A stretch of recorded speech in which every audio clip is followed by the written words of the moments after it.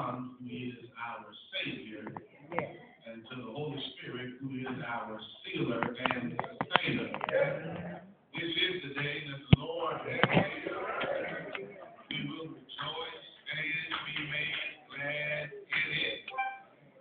To your pastor, uh, my brother in Christ, uh, Reverend Dr. Kenneth Thibodeau, and to you, the officers and members this, the Asia Baptist Church, it's good to be here. I thank God for another opportunity to be found in the sanctuary. And I'm glad I'm not in the cemetery. In spite of everything that the devil has sent our way over the past seven days, you're still here. Oh, yeah. Thank We give God all the glory, all of the honor, and all of the praise. Count an honor and a distinct privilege to be with you today to celebrate and share with you on this 94th uh, church anniversary celebration.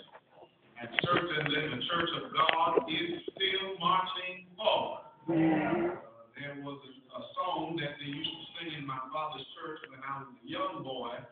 Every Sunday almost they would say, I love thy church, O God her walls stand. I love the church of God. And I'm grateful for this opportunity today to share with you. And I would like to thank your pastor uh, for this opportunity uh, to come into this place. And I did share with him uh, that I can reminisce on many times as a young boy uh, coming this way with my father